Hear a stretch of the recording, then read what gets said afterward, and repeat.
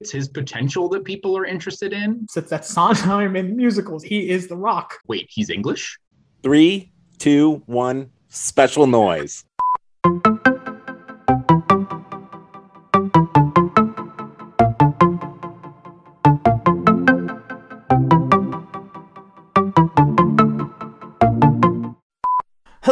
How are you? And welcome to Josiah is Write About Film. And today we're going to talk about a movie uh, called Tick Tick Boom, which is, uh, I've only talked about three movies on this podcast, but this is by far the newest one. And I imagine the newest one I'll talk about in the first season here, as there's a lot of classic movies I want to visit with various people. And so I can vote for the Producers Guild as a member of the Producers Guild, obviously. And while I would have voted for uh, uh, Spider-Man: No Way Home probably for Best Picture, just out of personal preference and, and and love and affection for that character and what they did with all those films, it wasn't an option. So my second choice became my first choice, which is Tick Tick Boom, and I actually talked about it on an episode of Most Extreme Ranking Challenge, which should be out. We're recording this a little bit ahead of award season and all that.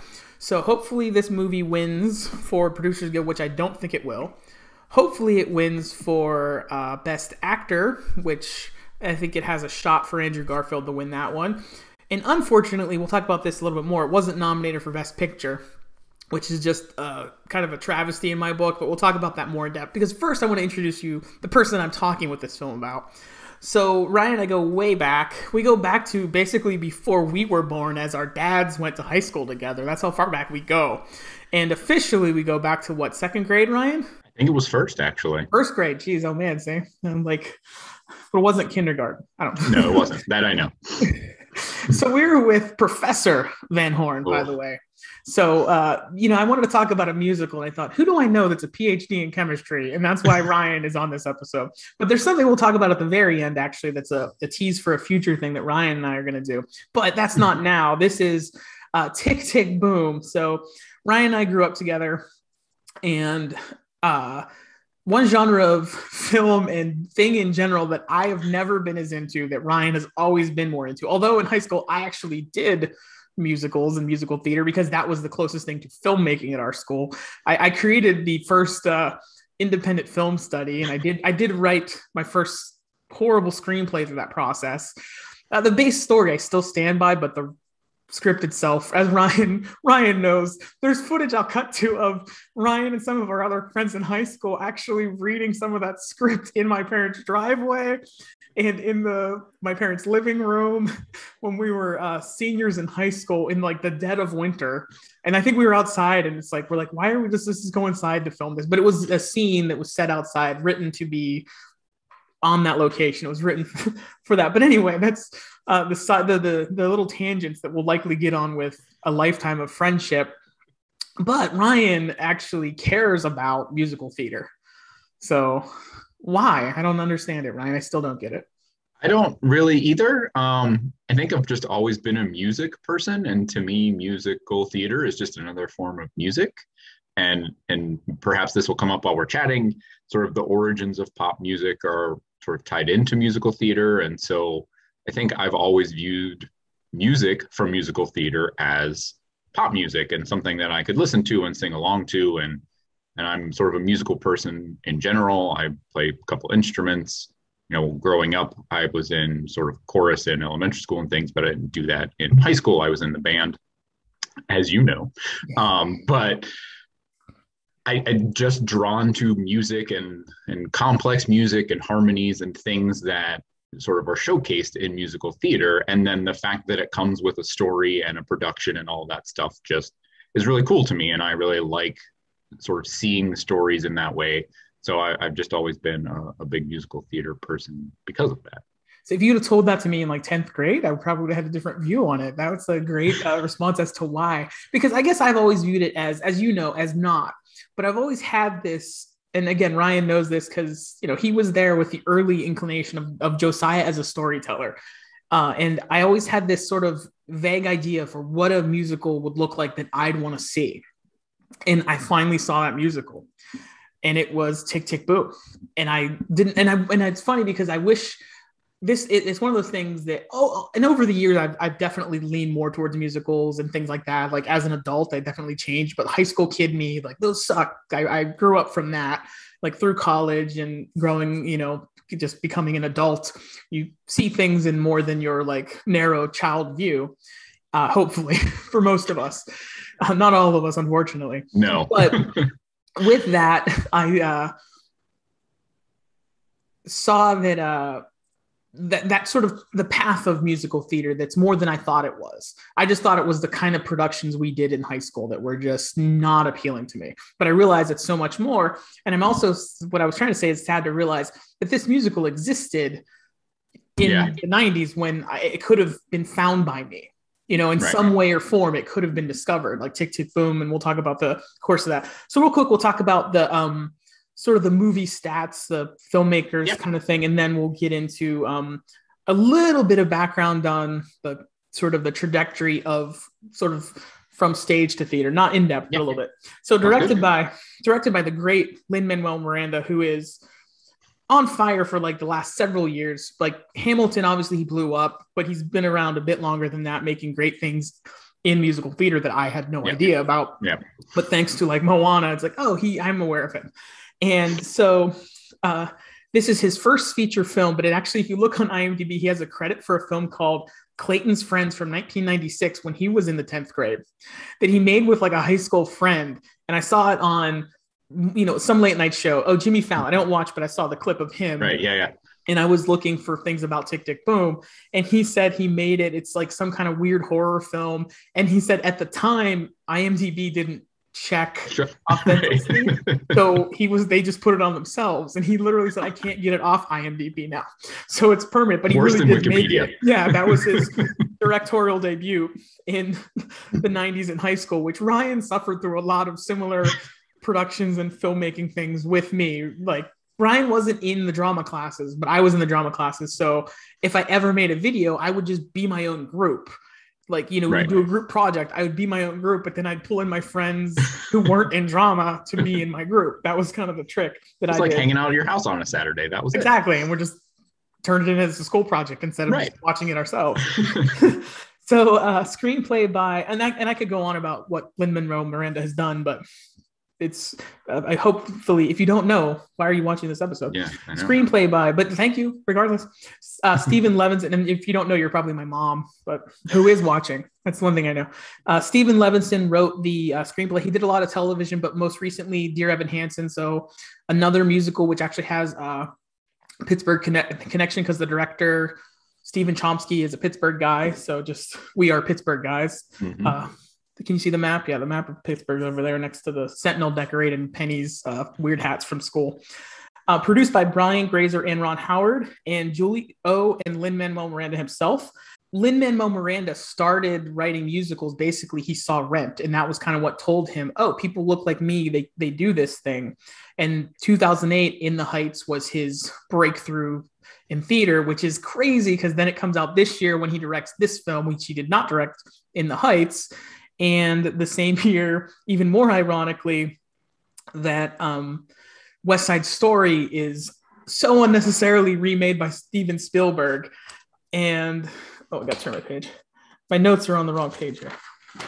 There we go. And so, because part of what makes me sad is when I was prepping for this episode, I assume I just assumed this got nominated for Best Picture mm-hmm. because I think it's so good, and it was in the Producers Guild Awards like selection. Right, right and it wasn't. And West Side Story was. Oh my! And you cannot tell me that's a better movie. I said it's just that, like the older people that are still in the academy, like Steven Spielberg. And at the end, there was a thing. He's like, "For Dad," and I was like, "Of course!" Like, and, and, he, and it's like Steven Spielberg, which is great, has been making movies about his childhood his whole career, which is awesome. Great films, some of the best films you'll ever see. And then now he's making the films of his childhood, and it's just not. It's not as good as the original movie. That's the problem like just watch the original movie if you want to see West Side Story. Right. And, and it's it's and it's well made and all those things. It's well shot and it's uses great filmmaking with te- the techniques, but it's it also and it's and it's about like race. So you it's but it feels so irrelevant. Right. And I just couldn't believe that even though this movie is also set 30 years ago now in the 90s, it feels so relevant to today. Mhm. Just so on point of the life that I live now. Um, so it started as a rock monologue called 39, oh, like 30 slash 90, 30 over 90. I don't know how to say it. And later boho days. And that was from like the late 80s and like into 1990. And uh, he developed it as he performed it. It was basically a one man show. And then he slowly expanded it. And when it became Tick Tick Boom, that's when it became like the version we see in the movie with like a few people, you know, like the singers and the, that are like, you know, on the stage with him and musicians. It sort of developed into that uh, like more gradually. So it's kind of cool to like read a little bit about that. And the interesting thing to me was upon Larson's death, uh, in 96 i think he passed away um Yeah, that sounds right. when Rent came out, right? Like Yep. the day before craziness, which the movie tells you if you don't know it. And I did know that. I knew enough about it to know that. I didn't really, I don't know that I even knew his name, but I did know the craziness. that story. The guy who did it unfortunately passed away Right. before he ever got to see it with a real audience kind of thing. Um, that it was actually developed by a writer named David Auburn. And he developed it further. And then it played in 2001. That's when uh, Lin Manuel Miranda, Manuel Miranda saw it. From what I've uh, gleaned off of some things on the internet. And um, the film version was basically kind of a, an amalgam of of that version plus some of the older versions and pulling songs here and there to kind of be from what I gather, almost like the definitive non Jonathan Larson version. You know, obviously, if you were to see this in the early 90s when he was still performing it himself, that'd be the definitive version. But aside from him being in it, this is it. So you were aware of Rent. Were you aware of Tick Tick Boom as a show?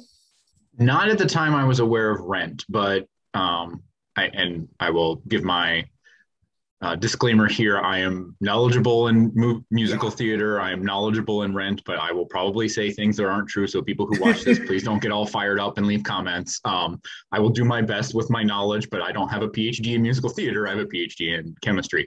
So anyway, um, I knew that there was sort of this Jonathan Larson, what I would call incomplete show and and really it wasn't incomplete it was just sort of the project by by way he was doing it was this one man show that then got developed into something that could be a show on broadway. So i knew that there was this other thing that he had done. I didn't really know what the name was. Over Mhm. time i sort of heard that it was tick tick boom but i had never seen it never heard anything about it. I, I just didn't follow up with it. But being a pretty big Rent fan I, and knowing a bit about Jonathan Larson, I knew that it existed. So when I heard that it was coming out uh, from Netflix, I was excited to see it and sort of Yeah.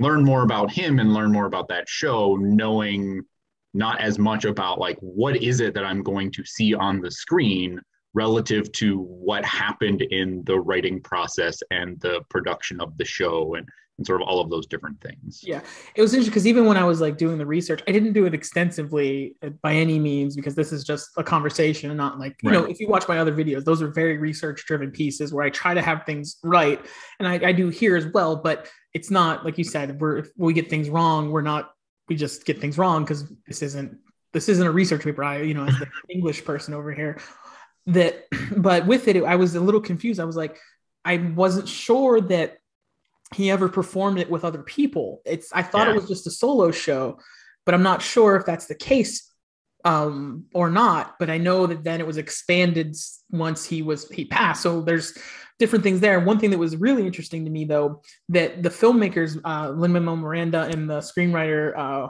stephen stephen levinson when they were working on it they actually went to the library of congress to get his demos and stuff from the Mm. old stuff. So it is again regardless it's sort of the most comprehensive version of it. And then one thing that's really cool so kind of jumping into oh one uh, thing before we get into it like the production. So it was started production and was shut down after eight days because of covid.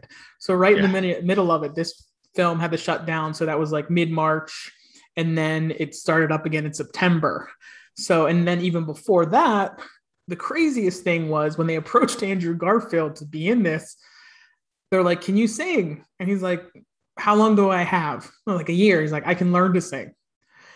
And when I heard that, I heard that after I saw the movie, I Mm. was shocked Yeah. because there's so many movies where you have great actors like um what's the Ewan McGregor one with Nicole Kidman, Uh, Moulin Rouge. Moulin Rouge. He's a great actor, not a great singer. No. Not a great singer. Even the the uh the the kid, what's the the lead in West Side Story?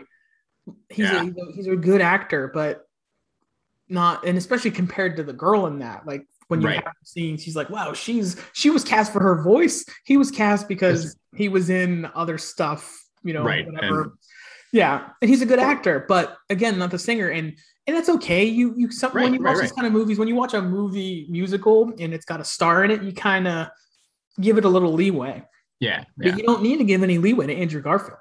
He's so good, and I'm not a music expert. Like Ryan, by default on this show, would be the musical expert.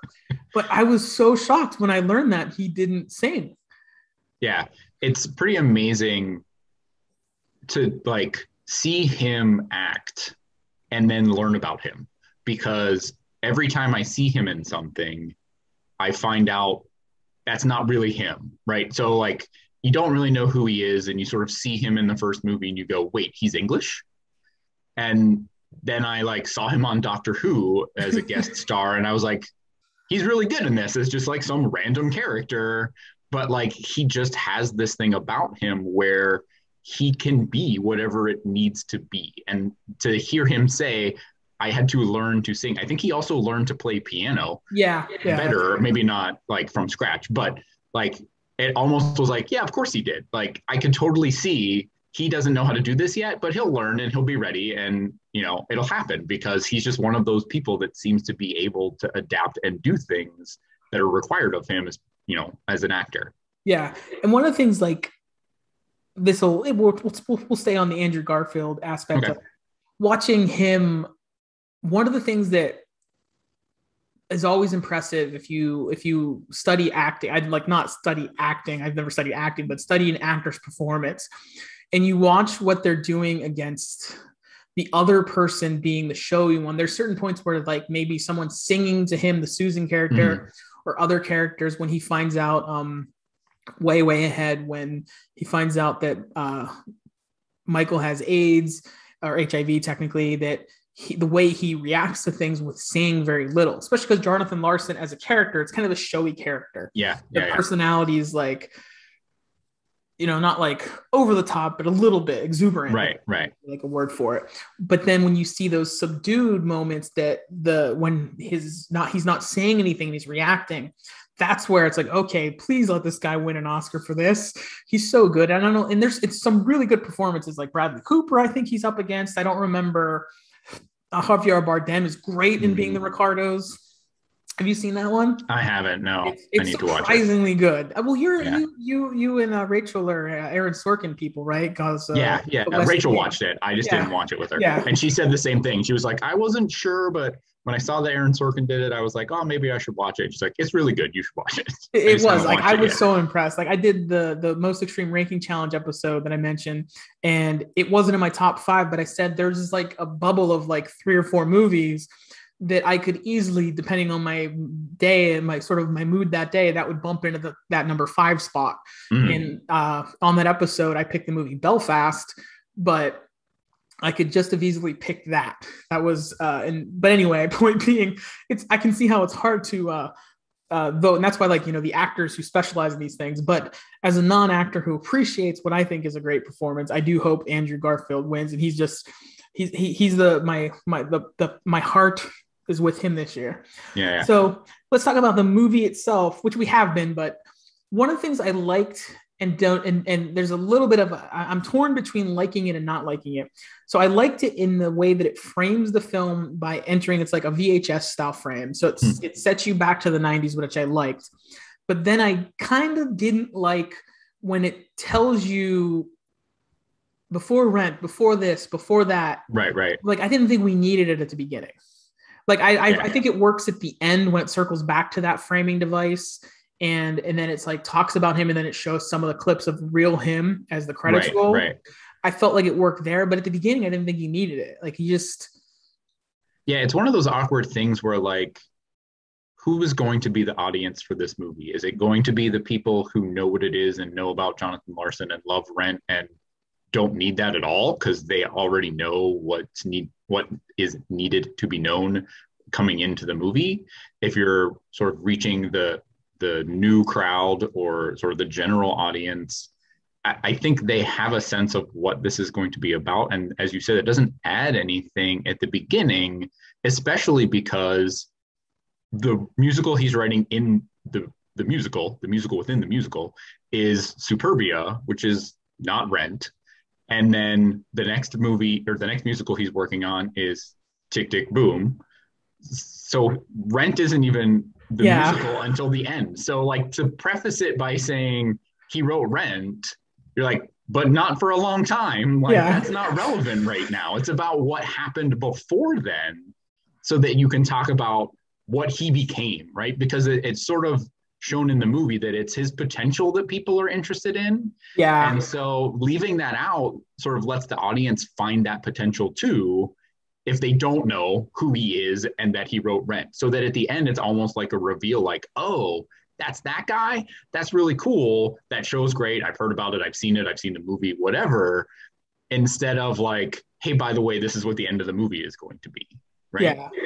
No, and, and again, but and it's almost like to we're we're we're digging into that little bit, but it's it's it's a very nitpicky thing when that's the biggest probably the biggest flaw of your movie. So to the movie's credit. Oh, but one thing I did love about the beginning before I move on was at the the the last line of the narrate the narration where it's like except for the parts that he made up, which were just great and clever, where it's it's just shows you it's it's this thing that's based on reality, but it's also blown up to tell a story. Right. all of drama. And I'm working on a novel which is based on my time as a paper boy, and it's populated by a bunch of real characters, real people that I delivered the newspaper to. But the story itself There's not. didn't Right. happen. But there's moments in there that really did happen. Like there's a whole thing with the cops and stuff, and that happened. What why it happened was way different than what's in the story. But the stuff with the cops really happened. I was delivering Right. a newspaper, and there was a cop with a gun pulled out, looking at me, not with a gun on me, like looking at a trailer down over the way, and I'm just like, drop the paper in the door. the rest is all fabricated. So I really appreciated that as a writer, and just that almost like, okay, it's okay, that's worth it for that. not to jump to the end, but I also really loved how the movie itself ended based on that comment. Like the way he looks into the crowd and it's black because it started with that and parts are in his head. Like you have that sense of like, did he perform this like this? Were there people there? Is he just Yeah. singing to himself like he always does?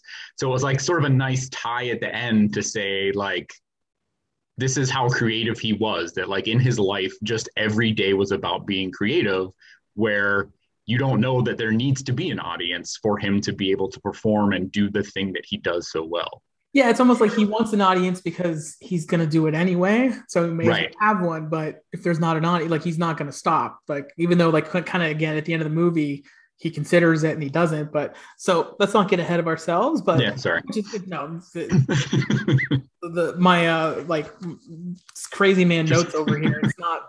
It's it's just it's just only sequential because I watched the movie in order. One thing uh, that I did relate to. So I have a locked away in a drawer uh, science fiction novel that I wrote that's kind of like become a thing of personal baggage for other reasons that I'm not going to share now that Ryan's familiar with. But it's funny because he talks about at the beginning of the film, he talks about how he spent eight years writing his uh, Superbia, the science fiction, which I think was like, if that musical came out, that's like the musical for me, by the way. Like, that, how did it not? I would watch it every day. but eight years is how long it took me to write that novel. Like, not consist like straight through, but stops and stops and starts from the first version to here and there. I I, I realized that I'm like, oh my gosh, it was eight years to when I finally had like a complete version. That just blew, and I I just didn't realize that until I did yeah. the math when That I watched connection. the movie, because it's uh, I think why this movie resonated with me is as an artist particularly one that hasn't had success in the way I, I hope to as a, as a creative writer, that um, you have that feeling of, you know, you're never gonna no one's ever to read anything or see anything in this case of his of his stuff. And he's working so hard at it so dedicated to it. And will anyone ever care? And and it's part of the lesson is you got to find the right thing. And uh that i can obviously really relate to uh and so i and i feel like that's what makes this kind of more timeless than something like a west side story where obviously that's set in the 50s and it's still set in the 50s it's like which is like 70 years ago now. Come on. Um so I'm, I'm losing my train of thought because i you know have west side story in my notes Yeah. here um so what let's uh, one of the things that the why the movie um part of why it's relevant is through the editing of the film through the pacing of the film through the use of dialogue and music. So and these are things that again ryan's the more musical of us with a background in music going you know like playing multiple instruments growing up and all that. But neither of us are you know like we said professionals in that field but uh, he's an he's an informed amateur and i'm the an uninformed not amateur i guess. But I, I understand filmmaking so like I, I like the way the musical techniques combined with dialogue i really like the way a lot of the songs would segue you through things and move you through space and through from time and space and different settings in a way that if this were just a more traditional if it were like a, a more traditional biopic where he's working on the musical but it's not itself a musical it wouldn't have had the same Mhm. poignancy where you wouldn't and it wouldn't have had the flow because the one thing I, I told judy when i was watching it again last night prep for this was i'm surprised at how short it feels Mhm. because it's almost two hours and it just but it just flows so well i i love the way right from the first song the the you get the song and you get the setting of the stage and you get what he's going on. It establishes character setting tone everything right away. And it just gets you going really well. And that's one of the things you know in screenwriting it's like can you get in the first 10 pages? Can you hook your audience Right. kind of thing? And or the first 10 minutes in screen time. And this movie does that and then continues that flow. So that's one of the things i was really impressed with filmmaking wise and also which again made it feel very relevant today even though again it's set you know i'm, I'm complaining spielberg's not making stuff from when you were a kid makes it from when i was a kid but it feels more relevant because even though it's set in the 90s it's a the style of it's contemporary to today Right. you know And I think what a lot of people who don't like musical theater complain about is there's to them sort of two styles of musical theater, right? There's one where there's a, a, a play going on that has random music throughout it, right? And people just like burst into song and that's not real and it seems weird. yeah Those songs sometimes progress the plot, sometimes it's just like singing and it's not particularly helpful for driving the plot forward. The other kind is where they sing through the whole thing. So the plot is purposefully driven by the music, but people don't want to listen to people sing the whole time, right? That's very reminiscent of opera and yeah i was gonna say wasn't people- that kind of right. almost yeah technically like make it an opera because like you don't stop singing right. And and I think what Jonathan Larson does well, and that is very obvious in this movie and how they've, as you said, edited and put this movie together, is the the songs are there to help understand the character and drive plot almost at the same time.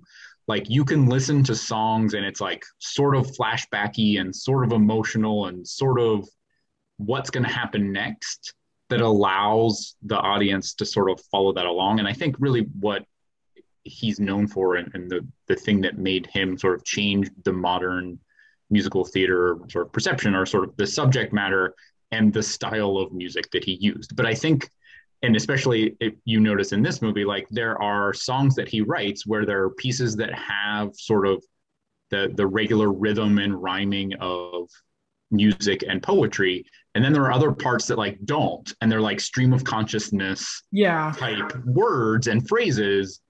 But as you said like it resonates with you because you're like that's how i would think through this if i were that character right? It's it doesn't feel like the surreal place where people sing. It feels like these people just express themselves in song and it's like talking except there's music involved and when the music is is a little bit more upbeat and more rocky and more poppy, people like that because that's what they're used to now. And so that style of musical, I think, gets more connection from the general audience because they don't see it falling into one of those two other categories. It sort of falls somewhere in between. Yeah, no, and, and and that's probably why it appeals to me more than a normal musical. You know, like it took me. I mean, f- first of all, West Side Story was like three hours long. I don't know how right. long it was. It took it took two two nights to get through that. so, but it's just that flow. Not to throw shade at Sondheim, it's a shade at Spielberg tonight, and I, and I love Steven Spielberg. I'll gush about no, him yeah. in other episodes, I'm sure, um, but not about that movie. Uh, I'm talking about West Side Story way too much on an episode of Tick Tick Boom. But it is interesting though that you have the Sondheim connection yeah. in the year where that movie is remade, and it is kind of interesting though. It's like wow, the movie was you know nominated for Best Picture in 1957 or something, whatever it right. was. The winner is West Side Story. Or I think that's 57 was like maybe that was when it was on Broadway and it was the early 60s. Yeah, I don't, I, I don't like roughly in that late 50s, early 60s when West Side Story was, uh, you know, from stage to uh, to uh, screen. There we go. Yeah. But it's just interesting. Then you have Sondheim as a character in this, and it's really cool because he just passed away. Correct? Was that? Yeah. Yeah, uh, less than a year ago. I yeah, think. it was like or all, right when the yeah yeah, just pretty crazy. All the the connection that you kind of don't necessarily expect that's within these things. You know, we have all the Lin Manuel Miranda stuff, and then connecting it to Stephen Sondheim. Yeah. Uh, and it, it was just cool to see him as a character because even to me as a super outsider not a huge fan of musical theater i know what he did. Right. Even if right. i haven't seen it i know his stuff. It's like how like you know if you're not a, into wrestling you know who hulk hogan is. You know who right, right. is. You might not have ever seen them wrestle but you know who they are. And i i said that sondheim in musicals he is the rock. And which connects back to musicals and all connected but you're welcome. um, which was crazy. I, I another thing I saw Lin Manuel Miranda talking about how he learned how to write for The Rock for Moana by listening to his old wrestling promos. because his wrestling right, the rhythm, very, like, yeah, yeah, songy. He had a, like a real rhythm to them. so it's that's funny. I remember our friend Frank had on CD the entrance music where it's yeah. like The Rock says, if you smell that was his entrance music where he's he talks and kind of like a rap, I guess. So that was yeah. technically his first song, I, I suppose. But but what was really cool again, where you they the, the, movie sets up that they it's Sondheim, the reverence they have for him, and he's like this. Even then, I mean, obviously, then he was super well established. He at that point he'd been the guy for 30 years. Yeah. And yet still looking to encourage and, and, and support young artists. And that's what's really cool to see that he showed up and yeah. gives helpful feedback. And it's like, well, it's good and it knows what it is, and you know who you are as a writer, but it can be more, it can be better. And you know, that was one of the big pivot points of the movie is that song where he's like, you need a song for was it like the Elizabeth character, the, yeah. the Herbia, the female lead in that. You need that song that's like the turning point kind of song where and and it's cool too because that's where the the Sondheim character by uh, Bradley Whitford, I believe, right? Yeah. He yep.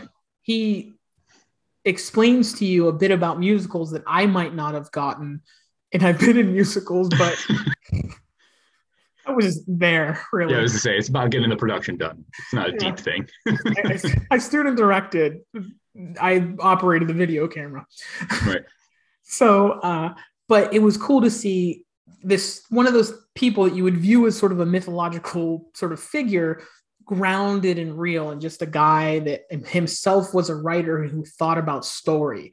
And you kind of when people become so revered you forget that. Even jonathan larson i'm, I'm sure since his death that he became that too. And these, these things kind of help that but yet it's right. a movie about grounding him and who he was and just this person struggling to find himself as he turns 30 as ryan and i just turned 40 we're 10 years beyond that. But any of those ticking clock, you know, roll over from a nine to a three zero Yeah. or four zero, it, it it adds a little bit of like whoa in your life. Regardless, it's when I uh, my birthday was just a few weeks ago as we record this, and my brother goes, "I thought you were thirty, turning thirty eight. like, like thirty eight. Like it's like just do the math on how much younger I am. Right. Um, so, but it that, that my dog is barking upstairs, and he that dog never barks. Is barking He knows I'm on. bark. Of course, the he barks now when I'm trying to record something. So, but I just really thought that, and that's one of the things the movie did throughout is it made it grounded so that, like, kind of getting back to what you were talking about, the way the, the music functions in the movie is you could you could see it as uh, almost like part of why it works is, and this is kind of the way I always want to do the musical where it's like in that person's head. Yeah. And so then everything explodes. And the diner scene is a great example of that, where it's just this crazy chaos and the stress and the tension is like really good filmmaking there, where the tension builds, the noise, and the customers like ding ding. Right. And it's cool though because it's then it starts to get rhythmic. Right. And you don't realize like oh, and then that like stop It's moment, and then Yeah. it goes into the musical number that becomes this big like show-stopping type of number that you would see in a musical. And, and that's like the fantasy in his head, and then it's back to he's still in that reality. Yeah. And that song and the way they did the production of it, as I just saw, is intentionally uh, uh, an homage to Sondheim. So in the movie, they're all watching Sunday in the Park with George on Mhm. PBS, and PBS should show more musicals. And I completely agree. I used to watch them all the time growing up. Um, but the I would be style like, of I would be, I would, real quick, I'd be like, ah, why isn't Yeah. Doctor Who on? I know. the style of music of that song, I think it's called Sunday, um, and the way the characters sort of move about that mini stage of the diner is very reminiscent of how the sort of George Seurat painting gets made in Sunday in the Park with George. Like the music sounds the same, the the movement of the actors on the stage into positions in the painting so that when the song is over it looks like the hmm. the painting from George Seurat. So like they move about the diner in that way so that at the end they're all like framed in a particular way in his head, right? Because as you, you just said, like the the way that it builds is you're seeing inside of his head how he copes with that stress or how he sort of uses that to motivate his creative process but i love that that song and that scene sort of call back to sondheim who has this very important role as a character and as a person in the in the movie. And um it it's sort of interesting that you know the jonathan larson character says sondheim wrote his first show when he was only 37 right? i think that's right I think 20. and 27 yes sorry thank you I know that part of the point was that he wasn't 30 yet. 30 right yeah yeah no you're right um but what little i know he really only wrote the lyrics to west side story leonard bernstein was the one who wrote the music and and Mhm. i don't know if he wrote the book or if someone else did or if I Sondheim think wrote the book was like whoever directed the. like, Yeah. that was from just, just like research, you know, looking some things up when I watched the Spielberg versions. So. right I, have, I actually have the original, uh, the the original Broadway recording on vinyl. oh nice We do have that. So nice. Rachel's mom has it too, I think, somewhere. Um, but Sondheim was an up and coming musical theater writer. And I don't know who, whether it was the director or producer of the show, said, I have this project. Do you want to be a part of it? And introduced him to Leonard Bernstein, and he got to write for West Side Story. So it was almost like he was paying that forward, right? That he's showing up to these things for Jonathan Larson. He's giving him this feedback because that's how he got into the business, right? Yeah. And that he wants to be that mentor in a way to help. And I, I meant to look this up, but I'm really curious. The phone message he leaves at the end sounds like Stephen Sondheim's voice and not Bradley Whitford's voice. So I'm curious if that's like the actual recording of the phone call, because I wouldn't be surprised if that was like something that got saved, much like mixtapes and and you know vinyl records and all those things like that they had or that maybe Sondheim had recorded ahead of time if it was before he had passed. But it, it just doesn't sound like Bradley Whitford's version of Stephen Sondheim in that recording. I hope I hope you're right there, but in and again, they did go to the Library of Congress to get the demo Right. other thing. So if that's going to exist anywhere, I would imagine that it would be part of that. And and of course, like if Stephen Sondheim called me to say very wrong number, I would keep that recording. You know, now it would be a Exactly. It's like if George Lucas called you. yeah, I, I'm. I'd be like George. Can we talk about Steven Spielberg? I, I joked with Judy yesterday. I said that'd be like me when I'm in my 70s saying, you know, I'm going to remake Star Wars. I really need to remake Star Wars now because in basically the exact same way. I'm not going to change anything. I'm just going to remake it so it looks pretty. Um, so let's uh, sort of segue towards the end of the film. Um, the, I mean, we could talk and break down the songs a lot more. Oh, one of the things I want to talk about before the end, though, that I really loved was we talked about since we're transitioning to the end. It's framed around watching Tick Tick Boom, Right. and we're we're you know we start with that, and then we see it again at the end. But the great thing is you have the, the these moments throughout where just when you it like almost feels like it's you forget that it's like from the framing Yeah. of the stage it cuts back to it I And agree. Yeah, that was awesome. watching it again how well timed those were Mhm. just you're kind of like in this thing and then it like cuts to like Jonathan Larson and then he says something clever and interesting you know and like within Right. that relates to the previous thing but then sets up the next thing and it was so that part was so well done and that's one of the things where credit to uh, Steven Levenson and and Lin Manuel Miranda for making that work and then obviously the editing this is nominated for uh, editing for the Academy Oh, nice. so I really, really hope it wins that. It's up against like things like Dune and Spider Man, so those are tough movies to beat. Yeah. But I think this this editing is superb. Probably against West Side Story. I don't know. I don't know if it is or not, but And the thing that I really liked about that too is it was often another character that was speaking or singing at that moment when it cuts back.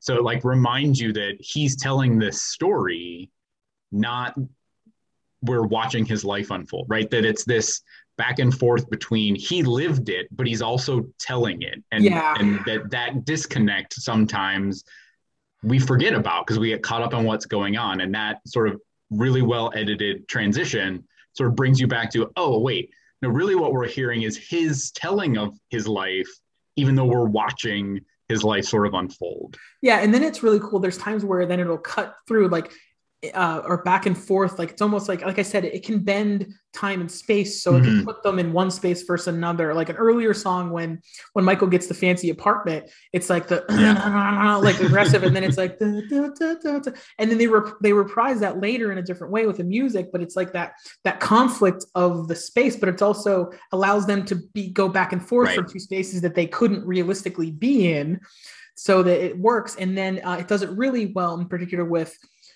the Susan stuff, where there's times where Vanessa Hudgens' character, like particularly when finally she sings the song and Yeah. in but also it does it two different points this the there's a point slightly before she sings the song the song about relationships where it's like her, him you know sitting Yeah, with Vanessa yeah. and they're like really stiff and like it's a great song about relationships yeah. like if I told you what I was afraid of, then you'd know I was afraid. Like, and it, it's so Right, right, good. right. Andrew Garfield's so good, and Vanessa Hudgens is so really great in this movie too. Yeah, I didn't go was. through like the cast. I forgot that. So uh, props to a lot of good people.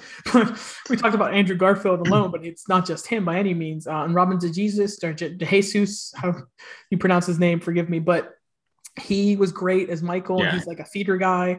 So, but the way it that the getting back to the last song, the the Elizabeth song, whenever you know the thing in Sondheim is there and every you know and they're all and she goes up to sing and it it has her singing and then it's like in his mind again it's like so it bends that wall. You're like wait he's telling this story but within the telling the story Right. then mind takes him elsewhere. And so that it's very cool and meta. And I, and I like that that it flows like to another time within another time so it's like Right. again because there's the framing device of the tick tick boom stage the theater that he's telling you the story from and as it's happening it goes within his mind and then like susan sings but it's cool then too because then it comes back to uh I forget the actress' names. Uh, Shipley. The, I, Alexandra Shipp. Yes, I exactly. looked it up. Yeah. Storm. Uh, in the, late, like the more recent X Men movies. Yeah. But she, know, and then it'll be between her singing and Vanessa Hudgens, but then she's singing to Andrew Garfield, and that's one of those moments where he's just taking it in and like almost Right. weeping. Great performance as like he's just listening and he's and he's like realizing what he's put her through to try to do his thing, and I just really thought that that was really great. But then it gave two performers a chance to shine and sing that song where you Right, Vanessa right. Hudgens gets some, and then uh, Alexandra Shipley, right? Yeah, Shipp. Ship, Alexandra Shipp.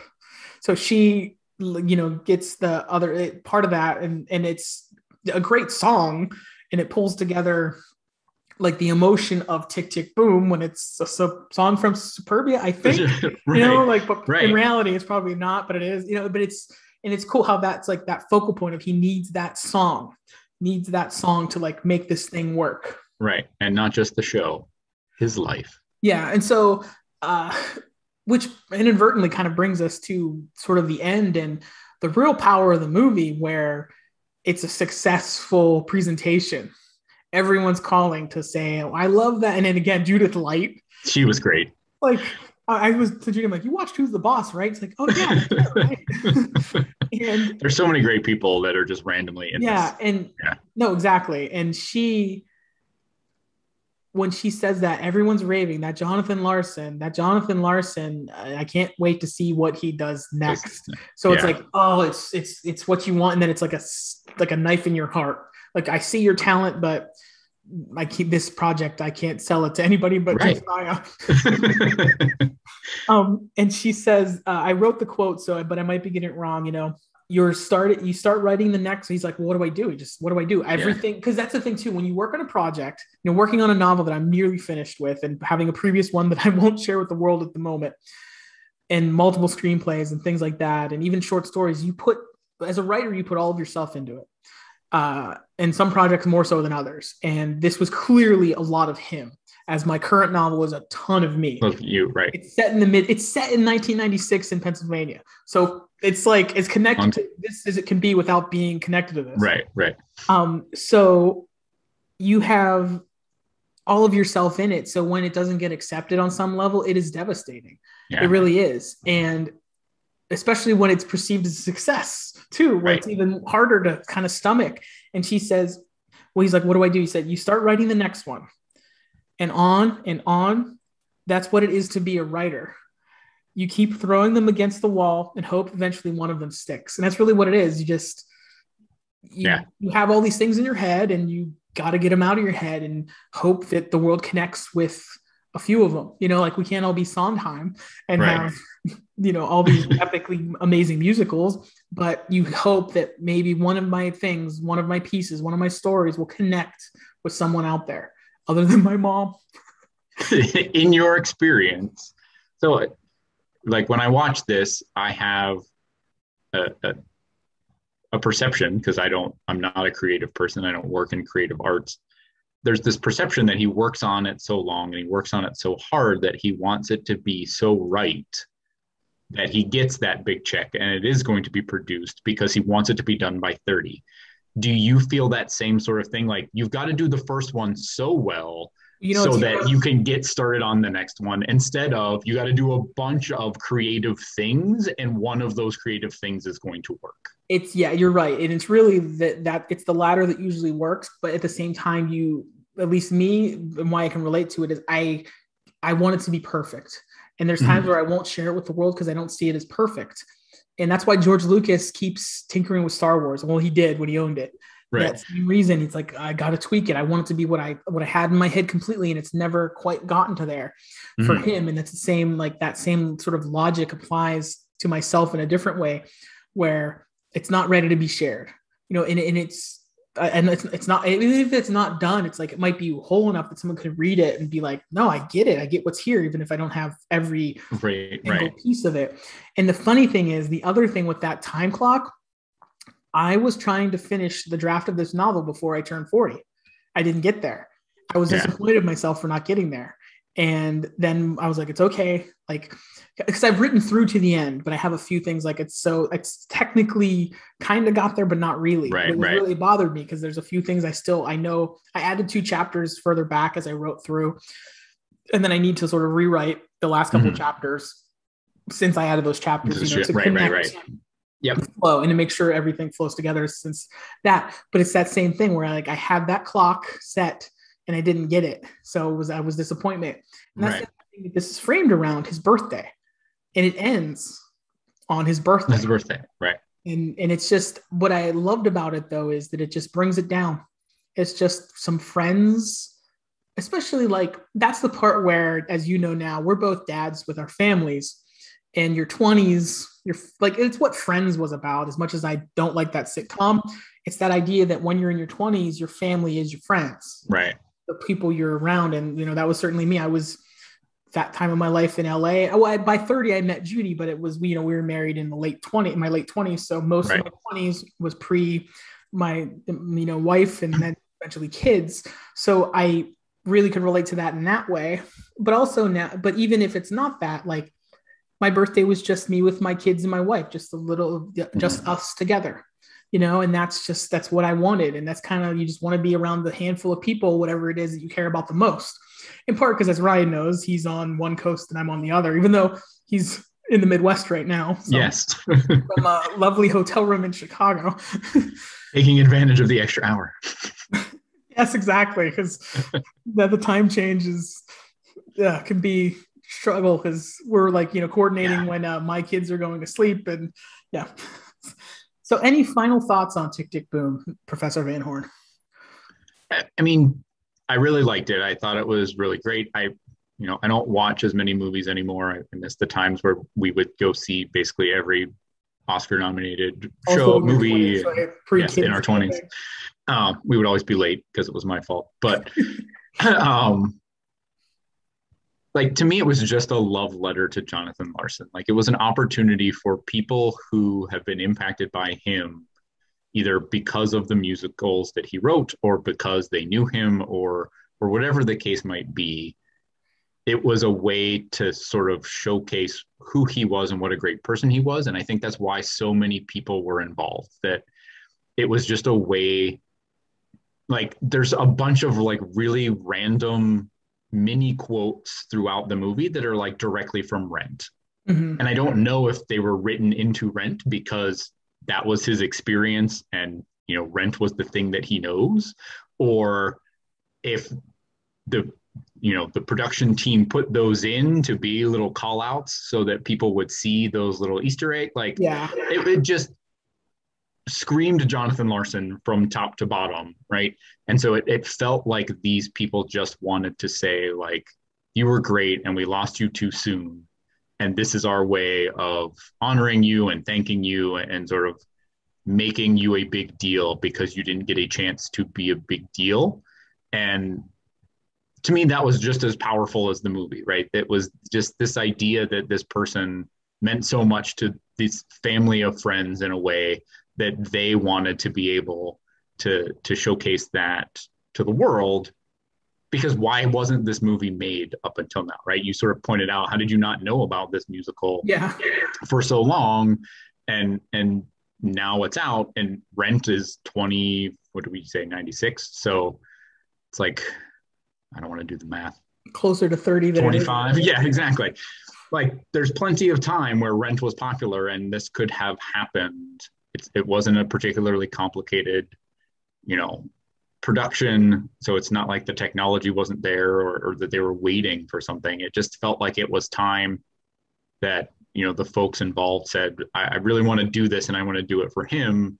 And and so the way they made this movie was about him. And the fact that they show those like homemade movies at the end of him doing the things that were basically literally in the movie you just Mhm. watched and as you mentioned it started with the vhs thing which sort of sets you back to the 90s but also for folks who you know didn't know him or sort of interacted with who he was through rent sort of had always seen these home movies of him to know who he was and what he was like so it, it was a nice tie-in that like that was going to be a theme throughout the movie because for a lot of us that's the only way we knew him right? From those videos that we see at the end where he's in the Moondance diner when he's behind backstage at rent when he's at these you know different parties and things. And so like that got directly translated sort of literally in the scenery and the acting in the movie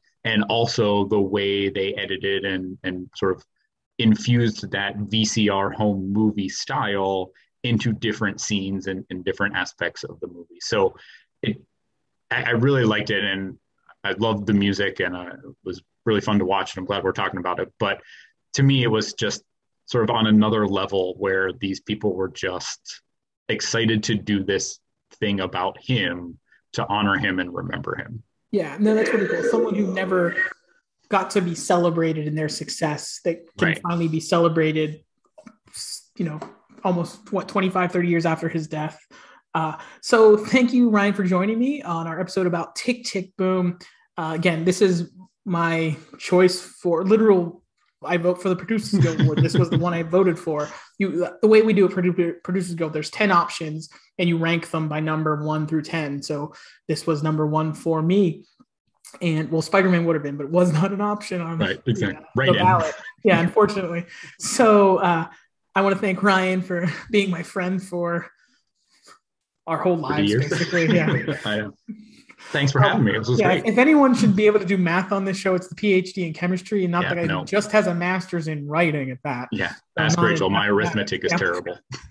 So, um, but uh, thank you, Ryan, for being here. Uh, if you're listening to this, you can find the video on YouTube. Mm, Uh, if you're on YouTube with video, you can find us uh, on Spotify and Apple now. I am now officially on Apple and all these other podcast platforms with uh, our lovely voices ringing in your ears. And we have one more thing to sort of tease you, Ryan. And being that he is a PhD in chemistry, there's a show called Breaking Bad that some of you may have heard of that was popular a few years ago. So Ryan's never seen it, but he is a PhD in chemistry, and he's Mhm. just an informed enough person about film and television that I think it was a good conversation to listen to, and I enjoy talking to him. So we are going to look at Breaking Bad episode by episode with probably some special caveats here and there. I have some ideas, but we're going to just start from the beginning, go all the way through it. So be sure to check that out. We haven't named it yet, but we're going to do a Breaking Bad podcast. But for now, just thank you guys for watching and thank you for joining me, Ryan. Yes, thanks for having me. This was great.